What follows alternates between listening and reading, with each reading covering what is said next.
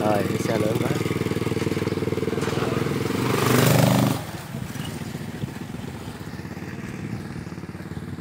Trời ơi, xe hàng lớn quá. chợ này cũng giỏi quá.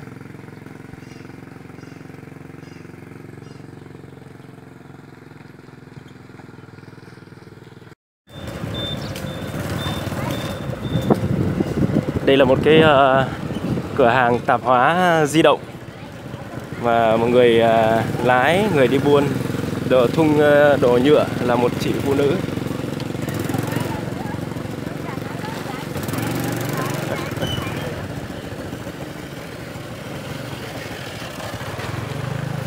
Ôi cho hỏi là con hỏi là cái đường này có ra được phà đi sang bên An Phong không hay là phải đi xuống Tân Bình đây? À trước đây là không có hả? Dạ dạ cảm ơn cô.